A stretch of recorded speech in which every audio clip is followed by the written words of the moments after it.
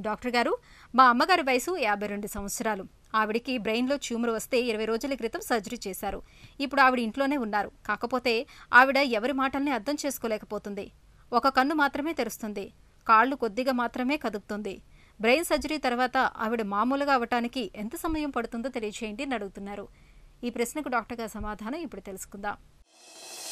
ఇక్కడ మీరు నాకు చెప్పాల్సిన విషయం ఏంటంటే ఎడమ పక్క అయిందా ఆపరేషన్ కుడి పక్క అని.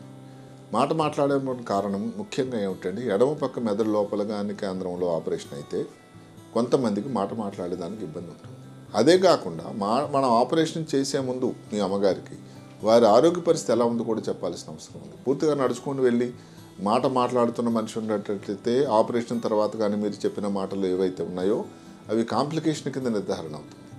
ఆపరేషన్ ముందే కానీ ఇబ్బంది ఉండేటట్టయితే రికవరీ అనేది కొంత టైం పడుతూ ఉంటుంది. ఇంకొక ముఖ్యమైన విషయం గమనించాల్సింది ఏమిటంటే ఆపరేషన్ టైంలో గడ్డ మీరు చెప్పినట్టుగా ట్యూమర్ తీసిన తర్వాత బయాప్సీకి పంపిస్తారు. ఈ బయాప్సీ తాలకు రిపోర్ట్ కూడా మనకు తెలియాల్సి ఉంటుంది. మెదడు లోపల గడ్డల్లో రెండు రకాలు ఉంటాయండి. క్యాన్సర్వి క్యాన్సర్ కానివి. క్యాన్సర్ అనుకోండి ఏ రకం క్యాన్సర్? ఎన్ని రకాల grades? Grade one grade two three four and నాలుగు ఉంటాయి. ఇవి చాలా మన అవసరం. ఎందుకంటే తర్వాత తర్వాత వైద్యం అన్నది ఏదైతే మీరు ఎంత బాగా రికవర్ అవుతారు ఎన్నాలో రికవర్ అవుతారో మీరు అడుగుతున్న ప్రశ్న చాలా సమంజసమైన ప్రశ్న. కానీ ఏదైతే గడ్డ దేనికోసం అయితే వైద్యం జరిగిందో బయాప్సీ రిపోర్ట్ ఏదైతే ఉందో దాని మీద ఆధారంగా ఉంటుంది. ఉదాహరణకి క్యాన్సర్ అని దురదృష్టకు వచ్చిందనుకోండి. దానికి ఈ రోజుల్లో రేడియోథెరపీ అనేది ముఖ్యం.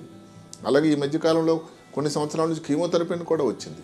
రేడియోథెరపీ అన్నది అందరికీ తెలియాల్సింది ఏమిటంటే సర్జరీ చేయడం వల్ల ఎనభై ఐదు నుంచి తొంభై శాతం వైద్యం జరిగినట్టు లెక్క. మిగతా పది నుంచి పదిహేను శాతం ఈ రేడియోథెరపీ కీమోథెరపీ ఇస్తేనే వైద్యం చేసినట్టు లెక్క.